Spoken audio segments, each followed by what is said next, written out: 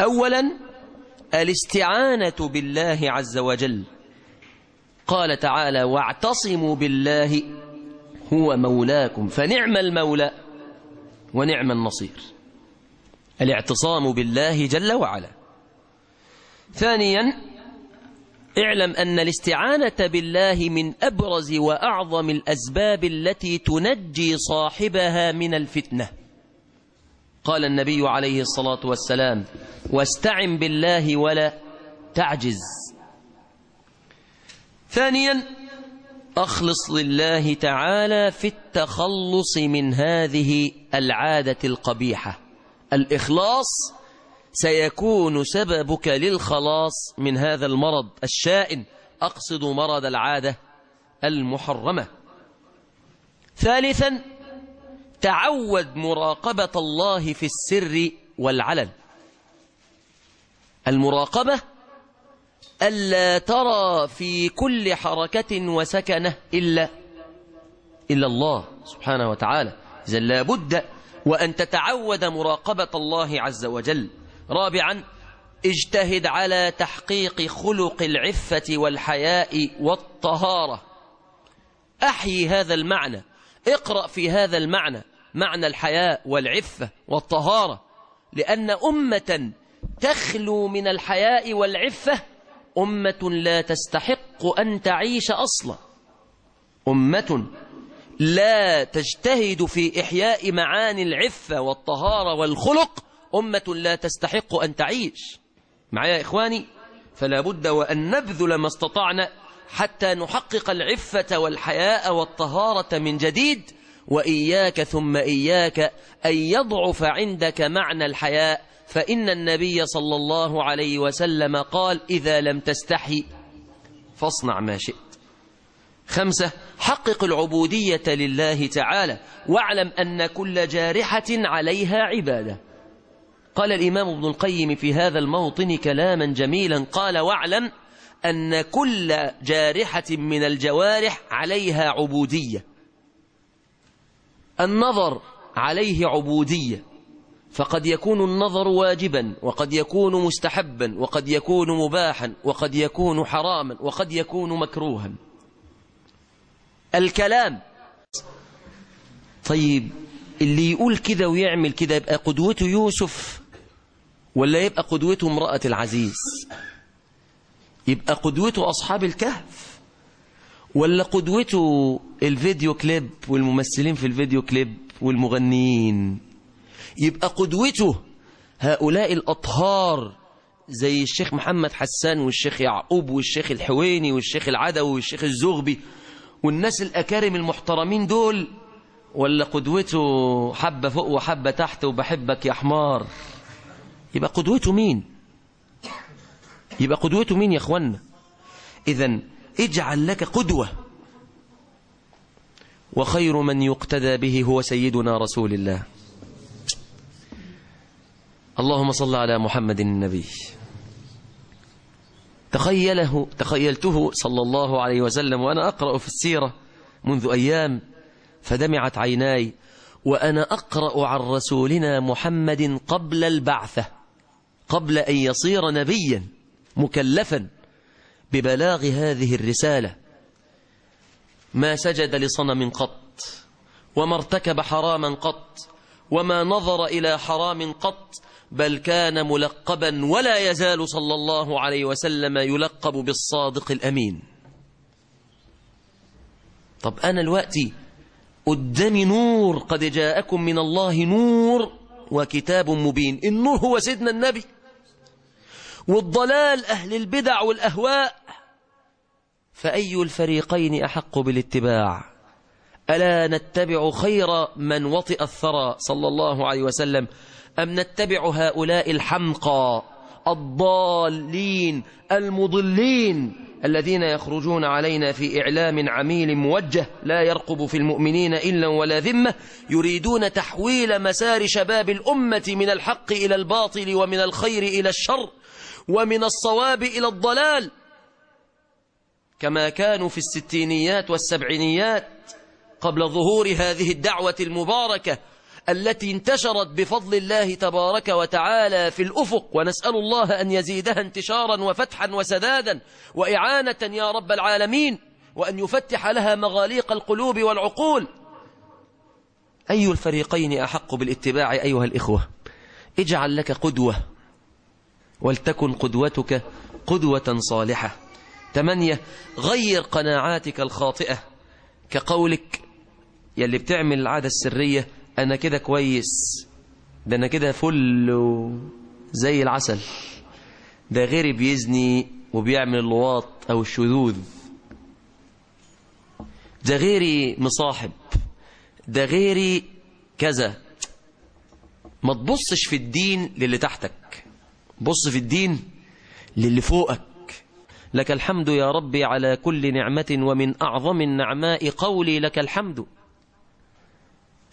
يبقى النهاردة تغير هذه القناعات الخاطئة. راجع حساباتك قبل فوات الأوان واتهم نفسك دوما بالتقصير فإن هذه بداية من أعظم بدايات التوبة. ثم إليك هذا التحذير العاجل. نحذرك من إهدار الوقت من غير فائدة. نحذرك من الصحبة الفاسدة التي تشجعك على الحرام وتعينك عليه. نحذرك من استصغار المعصية. إن أنت تقول والله ده حاجة بسيطة وحاجة خفيفة ده غيري بيعمل حاجات تانية. نحذرك من الإصرار على الذنب. فإنه لا كبيرة مع الاستغفار لا صغيرة لا كبيرة مع الاستغفار ولا صغيرة مع الإصرار. نحذرك من الجهر بالمعصية والتحدث بها. ما تمشيش تقول لأصحابك ده نواد ذكر ومية مية. لا نحذرك من ذلك. كل أمتي يدخلون الجنة إلا المجاهرون. نحذرك من السرور بالمعصية ونحذرك من الفرح بالمعصية. نحذرك أن تكون بمعصيتك من أبرز أسباب هزائم المسلمين. ولنا هنا وقفة. كان صلاح الدين الأيوبي الذي نسمع عنه فقط مجرد سماع.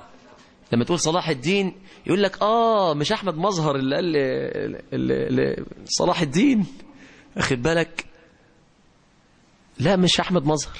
صلاح الدين الأيوبي غير أحمد مظهر خالص. لما كان صلاح الدين يمر كده قبل أن أن يدخلوا في المعركة الفاصلة معركة حطين يقول المؤرخون فكان صلاح الدين ينطلق ليلا خفية لا يراه أحد.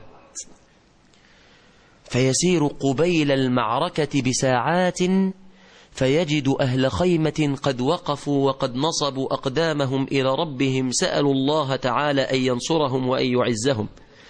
فينظر إلى هؤلاء فيقول الحمد لله الذي جعل في أمة محمد من أمثالكم وإن شاء الله تعالى يأتينا النصر من قبلكم. ثم يمر فيجد أهل خيمة قد ناموا وشخيرهم بقى إيه؟ فيقول أخشى أن نؤتى من قبلكم. آه دي اللي أنا عايز أوصلها.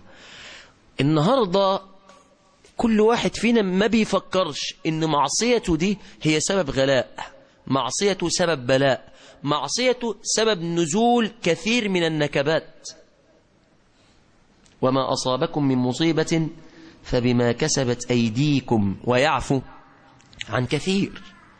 العادة السرية دي اللي انت بتستهين بيها لو عملها لو عملها لو إحنا عندنا الجامعة مئة ألف عملها مثلا ثمانين ألف. دي من أبرز أسباب انتشار الزنا في المجتمع ولا لأ؟ من أبرز أسباب انتشار الضلال في المجتمع ولا لأ؟ من أبرز أسباب الفشل اللي إحنا عايشينه ولا لأ؟ إذن يا إخواني مسألة أن العادة السرية أو أن أي ذنب أو أي كبيرة سبب من أسباب هزائم المسلمين دي مسألة حقيقية ولا لأ؟ آه في علاقة طردية ولا علاقة عكسية؟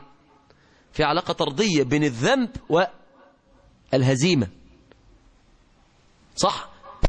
طب وعلاقة عكسية بين الطاعة والهزيمة. إذن يا إخواني لابد وأن نجتهد على التوبة. الحلول العملية. والحلول العملية دي أنا أقولها لك وأرجو إن شاء الله أن أنت تبقى تنزلها من على الإنترنت وتكتبها كروشتة. ماشي؟ يا ريت نكتبها كده. ونطبعها في ورق ونوزعها على أصحابنا ونحيلهم على الشريط. يعني نكتب كده كان هذا موجز الأنباء ومن أراد التفاصيل فعليه بسماع شريط كذا. علشان نحاول نحيي خلق العفة اللي إحنا اتفقنا ان إحنا هنحييه إن شاء الله في حملة كاملة اسمها حملة إحياء خلق العفاف. الحلول العملية على النحو التالي. واحد الاستعانة بالله. ما تقولش أبدا ما فيش إيه؟ ما فيش أمل. اتنين الزواج. مش لآكل يا مولانا. الصيام. يا معشر الشباب من استطاع منكم الباءة فليتزوج فإنه أغض للبصر وأحصن الفرج. ومن لم يستطع فعليه بالصيام فإنه له وجاء. أربعة غض البصر. ما استطعت إلى ذلك سبيلا. قد تغلب. قد تغلب. أنا عارف والله الدنيا ماشية إزاي. أنا بقول قد تغلب. بس لا تجعل الغلبة أكثر من ساحات فوزك على شيطانك ونفسك الأمارة بالسوء. يبقى مرة أغلب وخمسين مرة إيه؟ أنتصر. خمسة خالف شيطانك وجاهده قدر الاستطاعة وأنت في هذا مأجور. ستة اصبر على الشهوة. قال رسول الله صلى الله عليه وسلم ومن يتصبر يصبره الله ومن يستعفف يعفه الله. سبعة اعلم أن الإرادة هي العامل الأول والرئيسي لترك هذه العادة. علشان كده إحنا هنعمل درس اسمه كيفية تقوية الإرادة. إزاي نقوي الإيه؟ الإرادة. إزاي ان الإرادة دي لما تقوى هي اللي هتكون عامل محفز على إيه؟ على التوبة من إطلاق البصر على التوبة من العادة السرية على التوبة من الزنا على التوبة من الخنا كل الحاجات دي إن شاء الله تبارك وتعالى ستكون إذا نشطت الإرادة وقويت. أيضا ثامنا اضبط حواسك. خلي بالك كده من عينك. عينك دي خلي عليها كده حرص قدر ما تستطيع. واخد بالك؟ لسانك. خلي بالك منه. لما تيجي بالليل كده فتلاقي واحدة تكلمك عايزة تستثيرك تعمل انت إيه؟ تقفل الباب أمام هذه المرأة. تسعة. صن حواسك ونقي نظراتك ولا تستمع للأحاديث المهيجة من قبل الشباب. ما تقعدش تسمع كلام ملوش لازمة. ما تقعدش تسمع كلام ملوش لازمة. تقعد مع بعض إخواننا بعض إخواننا اللي قاعدين يقولوا لنا إيه؟ يقولوا لنا والله إيه ده أنا قبل ما ألتزم كنت بعمل كذا وكذا وكذا. غلط. ما تسمعش الكلام ده. أو أنت مثلا قاعد وسط أصحابك فقاعدين تتكلموا في الإيه؟ في الماضي. هذا غلط لأن هذا يشجع على إيه؟ على تذكر هذا الأمر وبالتالي اعتياد هذا الأمر وبالتالي الوقوع فيه. ماشي يا إخواني؟ يبقى لابد من إغلاق هذا الباب. ثم عليك بأذكار النوم. قبل أن تنام. قبل ما تنام بقى هنبدا بقى الشغل العام